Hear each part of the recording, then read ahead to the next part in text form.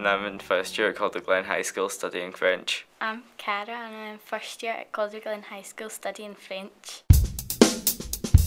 In primary school, we learned some general conversation vocabulary, asking someone's name, How are you? where someone lives, Animals. the weather. I think the primary school knowledge I've got has helped because when we like write our titles and the jotters, sometimes we're told to put the wet like the current weather down next to it. I think it prepared me quite well because like I knew roughly what we were doing. We're not learning the same things over again. It means we're getting new knowledge and uh, adding more vocabulary.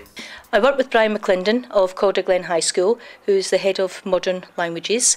We have had very successful meetings where we have looked at a range of resources and approaches to teaching modern languages in the primary school.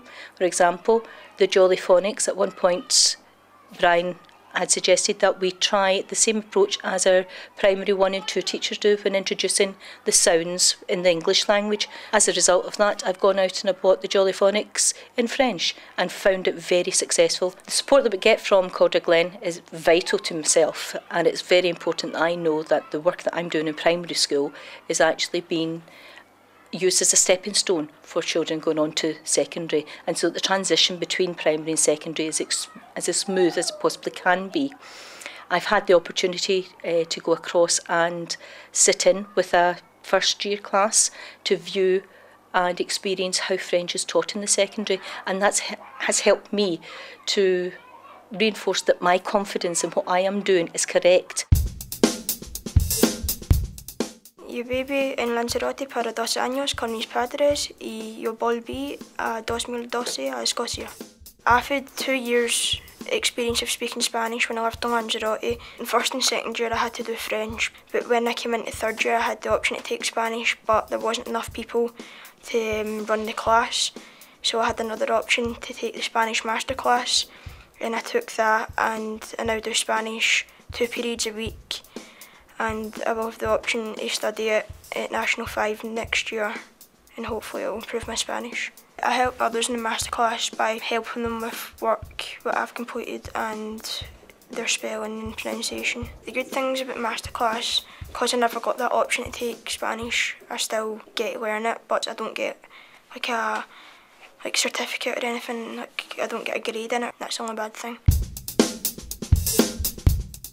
In IDL in second year we learnt a lot about the future and this was based in 2041 where we made a cartoon. We learned where we would go on holiday and like to a planet. It was good because in French we got to widen our vocabulary and it was good because you got to go on the computer and use like the softwares and stuff. I think IDL has changed the way I work in third year. I'm more vocal towards the teachers, like if I'm stuck I'll ask them instead of like just sitting quietly. I thought it made me more confident, like I could speak French in the class instead of like not an wanting to answer anything.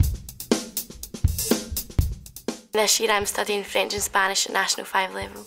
I was learning French in first, second and third year and then I picked up Spanish in third year. I found it a lot easier to learn Spanish as the grammar was similar to French.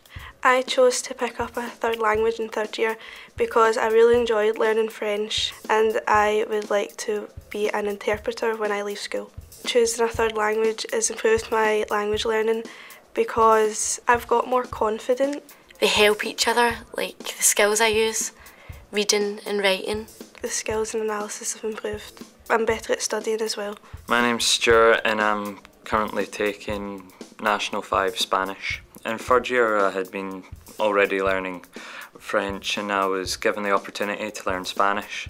Now, on taking Spanish I found out that I enjoyed that more and found it easier to learn and understand than French. So when fourth year came around I was allowed to drop French and continue with Spanish. I enjoy Spanish more, it's easier to understand. A larger amount of countries speak it. That and uh, have a brother who speaks Spanish. I thought he could help me learn it at home, so that's always a bonus. Hello, it's Misha Ellis. Hammy Sinshia Bliana. Um, Hammy feeling Gaelic. I took the opportunity to learn Spanish and I found that having a background in Gaelic did really help it, um, just with the way that you pick up um, pronunciation and even just the way that you learn.